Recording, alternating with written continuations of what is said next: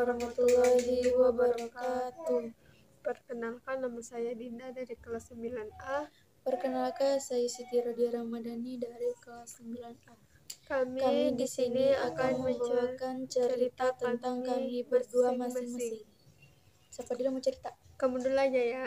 Ya, eh, aku mau cerita ajab maling mangga di wisata. Nah, gimana tuh? Kan pas itu eh, ada saudara dari ipar aku. Mereka tuh ngomong gini, dia mau main ke wisata soalnya kan cuma sesekali ke sini. Saudaranya dari mana? dari Liwa habis itu tuh eh, kata mbakku tuh ya udah nggak apa-apa habis itu hmm, pas kami udah ke wisata tuh mereka bilang nanti ke Teluk yuk ayo terus pas kami udah nyampe sana itu tuh kata bibi saya gini lihat tuh mangganya banyak banget yang matang-matang lumayan tuh katanya. Terus aku bilang bilang dulu nanti dimarah loh katanya. Kami pernah dimarah katanya kalau banyak banyak terus kata mbakku tuh alah nggak apa-apa mungkin mungkin nggak pada tahu. Mereka tuh kayak nyepelein gitu.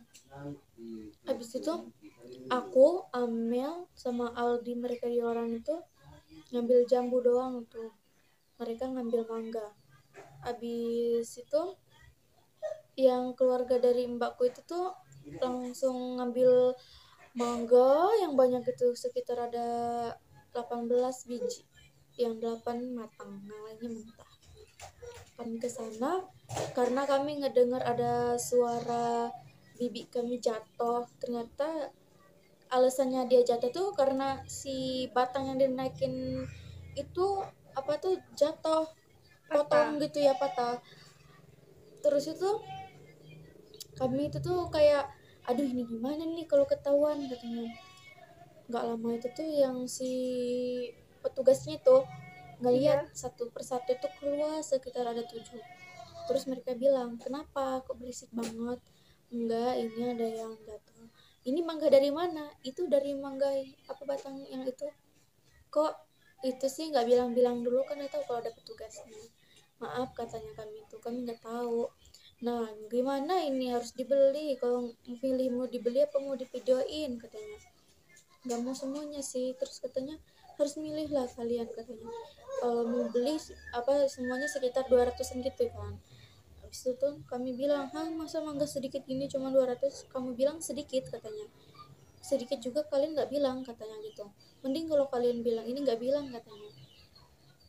Habis itu katanya mbakku tuh sama abangku tuh gini katanya ya udah deh kami minta maaf bibiku juga bilang minta maaf terus katanya maaf lah bang saya ini dari lewat jauh-jauh saya nggak tahu loh bang terus katanya kan ini saudara-saudaramu udah pada tahu kalau sini. Emang nggak pada bilangin? Terus aku bilang udah dibilangin om tadi. Tapi mereka nggak ngedenger. Habis itu mereka bilang lagi gini ayo bang maaf maaf maaf, maaf ya bang. Terus katanya gini eh kalau kalian mau itu nggak apa-apa katanya. Tapi jangan diulangin lagi. Saya kasih ini. Soalnya bibi aku bilang kalau dia tuh uh, apa sih kayak saudara gitu sama om-om itu nggak lama itu kami pulang. Pulang tuh sambil malu soalnya banyak cowok-cowok yang ngeliatin gitu. Terus itu pas kami pulang kami ke Teluk tapi mereka pulang aja soalnya udah jam 5 gitu takut ke maghrib. Udah gitu kalau kamu? Kalau aku sih mau cerita tentang teman yang dibutakan oleh harta aja sih. ya Kan dulu waktu aku di sekolah lama aku di MTS, aku itu ada temen. Ya namanya Tri lah ya. ya Dia itu dulu anak pembantu. Dia suka di rumahku terus makan di rumahku main di rumahku sampai-sampai kami itu berdua. Terus pas tahun kedua aku sekolah ya maknya itu nikah sama majikannya gitu ya nikah kayak kan majikannya tadi kan istrinya meninggal. Pas baru sebulan istrinya meninggal dia dianya nikah. Pas dia udah nikah dia positif kan anaknya jadi kaya kan? Dia udah sombong nggak mau lagi temenan sama aku sampai-sampai dia bilang gini apaan sih? katanya temenan sama orang miskin kayak lo katanya kan. Terus aku jawabin gini dong kataku apaan sih kamu? kataku dulu aja kamu numpang makan di rumahku kataku ya terus terus katanya ini katanya enggak lah ya katanya kapan coba aku numpang makan katanya.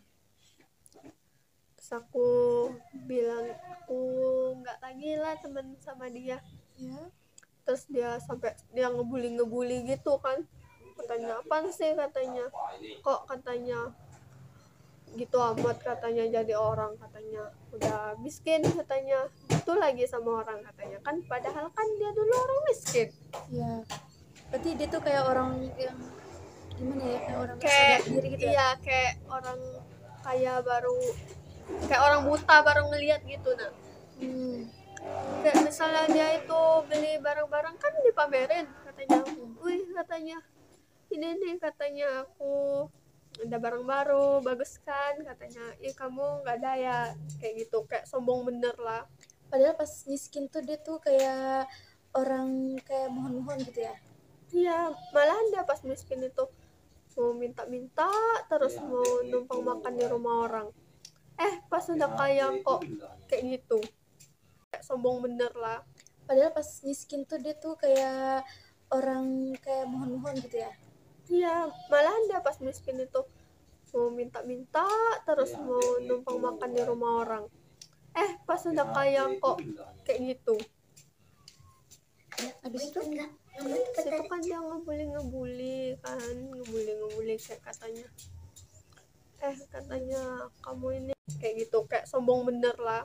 Padahal pas miskin tuh dia tuh kayak orang kayak mohon-mohon gitu ya Iya, malahan dia pas miskin itu mau minta-minta terus mau numpang makan di rumah orang. Eh, pas udah kaya kok kayak gitu. habis itu Situ kan dia ngebully-ngebully kan, ngebully-ngebully kayak katanya.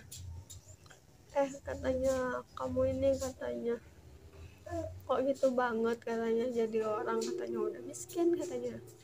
Nah, iya sih katanya pintar tapi kok mau tapi kok mau ya katanya nggak dibeliin apa-apa sama orang tuanya katanya kan ditinggal lagi katanya. Jahat ya? Iya.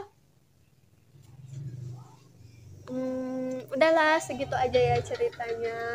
Hmm, jadi sabar aja ya. Ya kami, Kami berdua akhiri. Wassalamualaikum warahmatullahi wabarakatuh. Eh, Tik, kok udah salam aja? Ada yang lupa nih. apa tuh? Jajannya belum? Oh, iya, aduh lupa. Iya, jajan yuk. Ayo. Bentang-bentang tidur, jangan